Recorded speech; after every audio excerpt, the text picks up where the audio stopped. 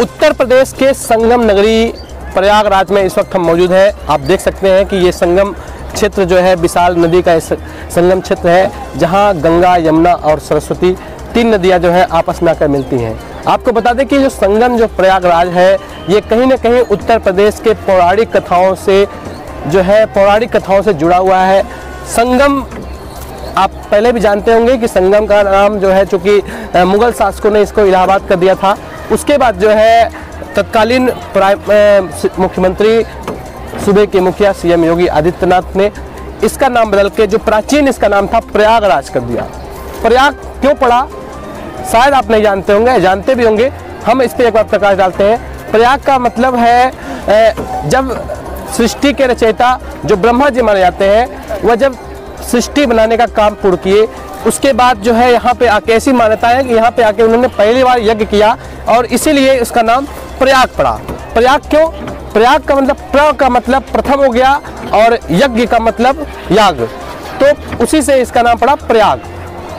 बाकी क्या मान्यताएँ हैं? दूसरी अगर प्रकार, दूसरी बात करें तो ऐसी मान्यता है कि यहाँ पे जो विष्णु भगवान है, विष्णु भगवान इस पूरे प्रयाग के अधिष्ठाती माने जाते हैं और यहीं पे, यहीं से महज एक किलोमीटर दूरी पे विष्णु भगवान का एक भव्य मंदिर है, जहाँ पे उनका बारह स्वरूप भी देखने को मिलता है। इसीलिए उस मंदिर जो है, ये प्रयाग इस मान्यता से भी एक विख्यात हो जाता है। बाकी ज़्यादा जानकारी के लिए हमारे साथ यहाँ पे निषाद राज के कुछ लोग जुड़े हुए हैं। इनसे जानेंगे क्या महत्व है। बताइए क्या महत्व है जो है इस मंदिर का यहाँ इस संगम का और इस धर्म नगरी प्रयाग स्थल का? यहाँ अंधे नगरी चौपट राजा हैं। टकेसर खाजा, टकेसर भाजी और वहाँ झूसी में हनुमान जी हैं बजरंग बली हैं यहाँ किले के पास। और छः बट बाबा हैं। और अच्छा कुछ अगर हम इतिहास की बात करें अगर कोई ऐसी इतिहास जो है बहुत सारे प्राचीन लोगों के संगम में आप लोग रहते होंगे हाँ, कुछ लोग बताते होंगे क्या इतिहास रहा है इस प्रयागराज का? आज के लगभग 100 साल 200 साल 500 साल पहले की बात करें तो क्या इतिहास जो है कुछ आपने सुना है खैर भैया। लाठी। बिल्कुल आपको बता दें कि अभी चूँकि हम लोग नाव से बीच प्रयागराज में बीच संगम नदी में आए हैं तो कहीं ना कहीं यहाँ पे आप सैकड़ों नाव का जमावड़ा भी आप लोग को दिख रहा होगा। अभी जो है हमारे साथ जो नाविक हैं, वो अपने नाव को जो है एक उचित जो है ठिकाने लगाने का प्रयास कर रहे हैं। बताइए, नाविक जी तो क्या इतिहास, कुछ अगर आपसे इतिहास के बारे में जानना चाहें हमारे दर्शक तो क्या बताएँगे आप? हम का बताई साहब। यहाँ तो गंगा मैया हैं यमुना मैया है सरस्वती है। अच्छा हर बारह वर्ष पे यहाँ एक विशाल कुंभ लगता है। हाँ। और अगर लाखों कहे तो झूठ हो झूठा होगा।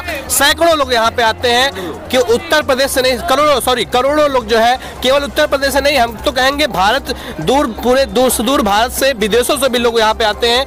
क्या माहौल होता है जब यहाँ पे एक विशाल कुंभ लगता है तो?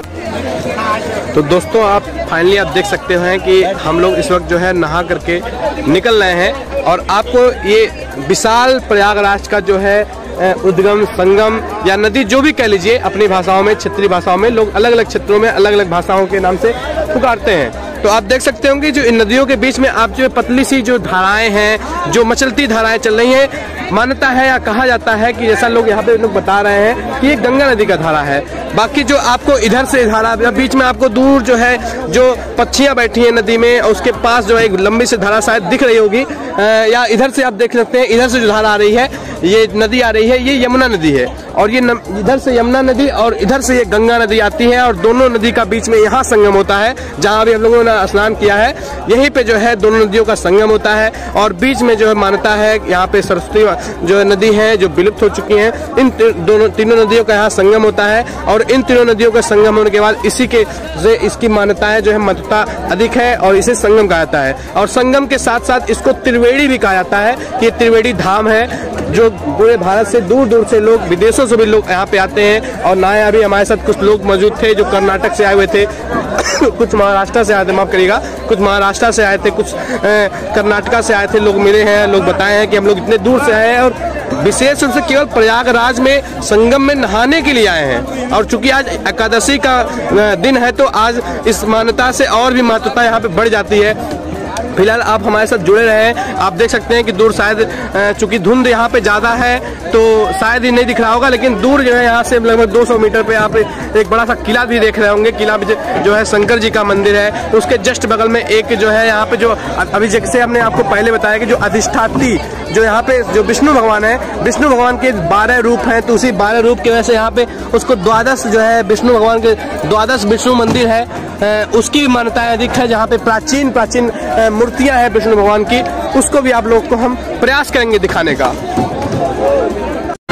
आप देख रहे हैं डीवीएस न्यूज़